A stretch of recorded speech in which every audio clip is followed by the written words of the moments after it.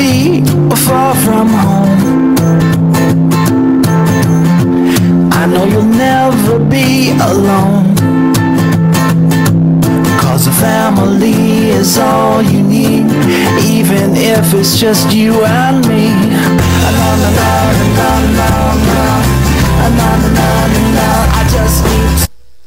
Hi there, this time I just want to share with you another tutorial, Camtasia Studio tutorial, and it's all about zoom and pan.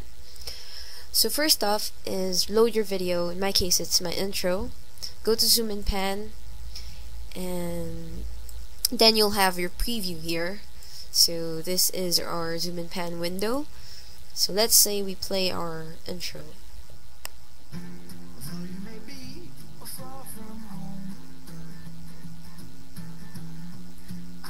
Okay, let's say I want to zoom in on my name here. So I'm just going to add a keyframe. So you click this button, add a new keyframe, select that. So it's zoom 1, it's our first zoom.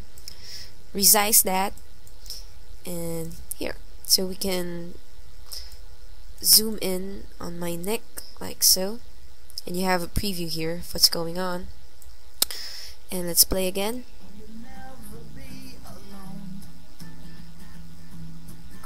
okay this time I want to go full screen. So add another keyframe. Then select full screen. The blue button here like so. And play.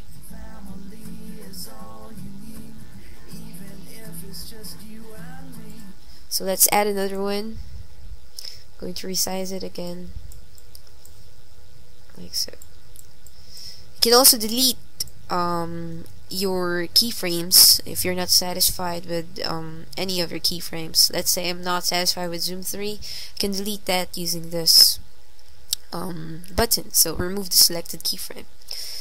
Yes and boom. You can also um, scale. So but you can do that using your mouse so it's more accurate like so. You can also um, alter the duration. So you, you can see that. So if you want to go slower you can see it in your zoom track here on your timeline as well. And you can also get the zoom speed here. So we have 2.5 seconds like so. So other buttons here um, you can apply smart focus if you're too lazy to add your own zoom and pan or if you just want to you know save your time. Then you can do that and Camtasia will automatically add a zoom and pan for your video. But I do my own zoom and pan so anyway. We also have some options here. So if you click that so we have the duration apply zoom and pan hits hints. So it's easier for you to edit your zoom and pan so you can also limit the dimensions and you can also show the zoom rectangles the green one in your preview.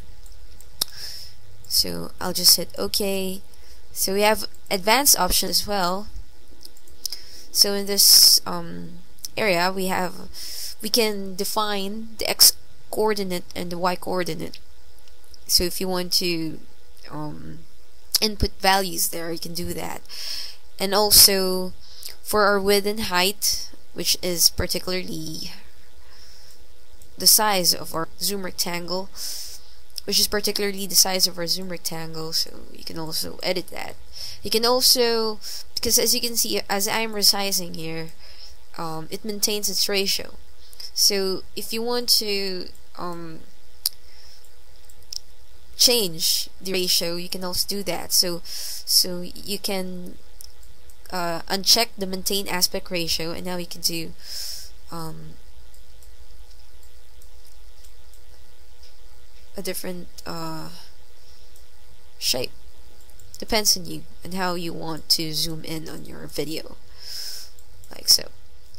Okay so if you're done with your settings hit finished and you have your own video with zoom in and zoom out um, marks so let's have a preview of that.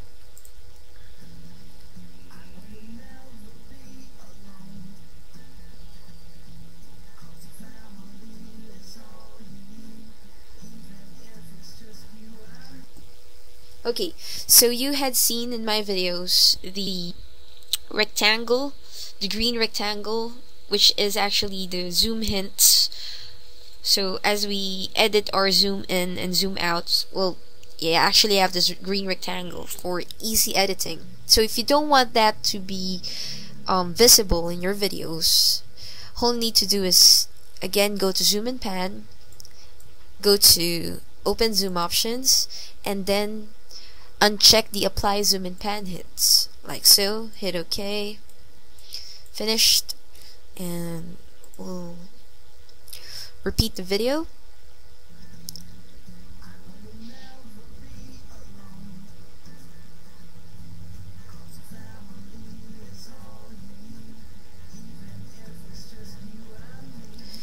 and there you go. So you had removed the rectangle um, the green rectangle hint.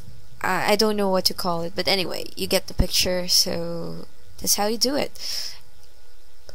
So there you go. So those are some tips about zoom and pan. More videos to come. For all your request suggestions watch out for your videos. I'll be uploading them soon thanks for watching this video. Check out my youtube partners on my channel. As always just have fun. See ya